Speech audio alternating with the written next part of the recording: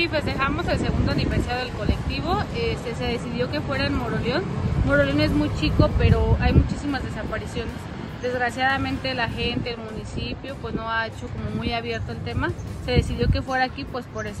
Entonces el día, de, el día domingo vamos a estar inaugurando un muro y también vamos a realizar una marcha pacífica y también vamos a tener una parte donde las madres van a poder bordar los nombres o alguna, pues sí, alguna insignia de lo que ellas decidan. Eh, ¿La marcha dónde va a partir? La marcha sale a las, a las 12 del día del Ministerio Público de Moroleón, creo que es la calle Victoria. Este, nada más si hay que estar antes, yo creo como once y media para acomodarnos y tienen que llevar playera negra y si buscan una, un familiar mujer hay que llevar un pañuelo morado y si es familiar hombre hay que llevar un azul rey. Buscan que con esto pues más personas que tienen miedo puedan salir a decir que su familiar está desaparecido. Sí, es correcto. Buscamos que esto que va a ser pues muy grande, va a ser muy muy épico aquí en Moroleón, pues la gente salga a denunciar. Hay mucha gente que tiene familiares desaparecidos de 3, 4 años y no han puesto una denuncia por miedo. Entonces yo creo que este tipo de espacios, este tipo de eventos, pues abren muchas puertas para ellos. Que conozcan que hay colectivos, que hay familias que pueden ayudar.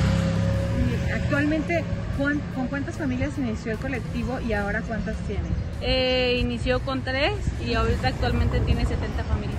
Ha crecido muchísimo, ¿verdad? Sí, ha crecido. La verdad es que no hemos querido hacerlo como más grande, vamos como poco a poquito, nada más tenemos desaparición, no hemos añadido ni homicidios ni feminicidios, puro tema de desaparición. ¿Y son más mujeres o hombres desaparecidos? Son más hombres en el colectivo, tenemos más hombres.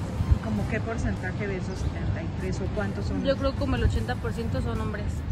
¿De algún tipo de perfil, años o de todo? La mayoría son jóvenes de 18 a 30 años este, y empezamos desde el 2018, pero desde donde hay más desapariciones es en el año 2020. ¿Todos son, ¿De qué municipios son? Tenemos de Uriangato, de Pénjamo, de Moroleón, de Celaya, de Apaso el Grande, de Irapuato y hasta el momento, hasta Miguel Octopa. Mm, San Miguel.